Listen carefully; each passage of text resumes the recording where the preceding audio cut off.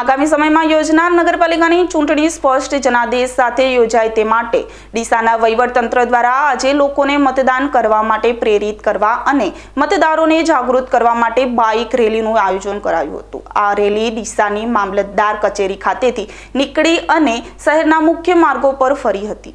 ચૂંટણી દરમિયાન મતદારો વધુને વધુ મતદાન કરે અને સ્પષ્ટ જનાદેશવાળી સરકાર રચાય તે માટે વહીવટી તંત્ર દ્વારા પૂરા પ્રયાસ કરવામાં આવતા હોય છે.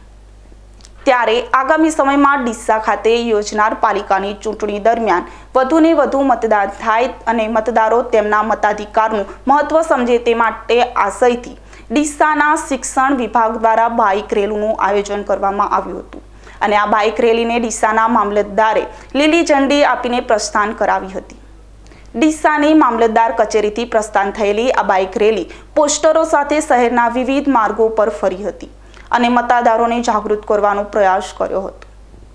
આજે ગુજરાત રાજ્ય ચૂંટણી ચૂંટણી પંચ આયોગ અને મહેરબાન જિલ્લા ચૂંટણી અધિકારી બનાસકાંઠા પાલનપુરની સૂચના અનુસાર ડીસા નગરપાલિકાની સામાન્ય ચૂંટણી બે હજાર એકવીસના કામે મતદારો ડીસા ડીસા નગરપાલિકામાં મતદારો વધુમાં વધુ જાગૃત થાય, વધુમાં વધુ મતદાન કરે ને સો ટકા મતદાન થાય, તે માટે મતદાન જાગૃતિ માટે આજે બાઇક રેલી કાઢી અને ડીસા નગરમાં મોટો પ્રચાર અને પ્રસાર વધુમાં વધુ મતદાન થાય તે રીતના આજે બાઇક રેલી સ્વરૂપે, સૂત્રોચ્ચાર સ્વરૂપે લોકો મતદારોને જાગૃત કરવાનો કાર્યક્રમ રાખેલ છે.